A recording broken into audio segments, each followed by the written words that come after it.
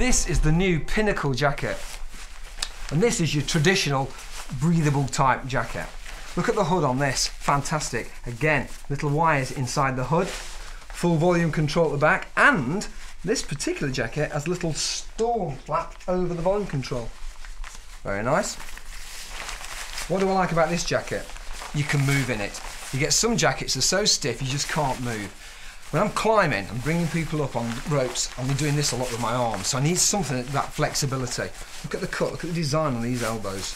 Brilliant as a working jacket. And this is a hill walking jacket.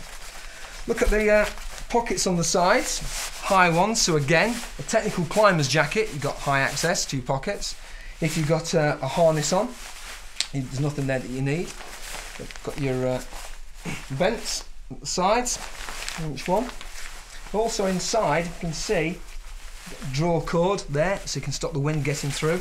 Nothing worse than sitting on the edge of a crag because that's where the wind gets intense, isn't it? So you're sitting on a crag, lifeline your group up, wind's going straight at the back. Baffles are brilliant for that. found really good. Look at the cut of it. A bit like your cycling jacket. And you can actually just about sit in that. When you've got a harness on, of course, it just pinches it all in together anyway, so you don't have to worry about it.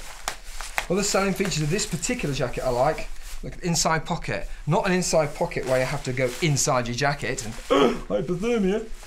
Yeah, you can get inside without opening your jacket up.